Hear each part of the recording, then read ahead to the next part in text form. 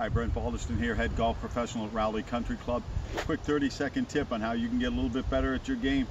If you're striking the ball and you seem like you're not getting quite enough spin on your wedges,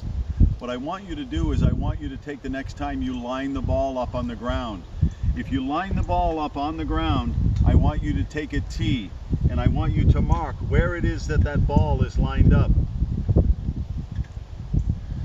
most amateurs will actually see that that ball is located towards the heel end of the club, thus utilizing not near as many grooves on this end of the club as you have on this toe end. Try to get the ball a little bit more out towards the toe where all of those grooves are, and I guarantee you, you'll start to get more spin on your wedges and lower those scores.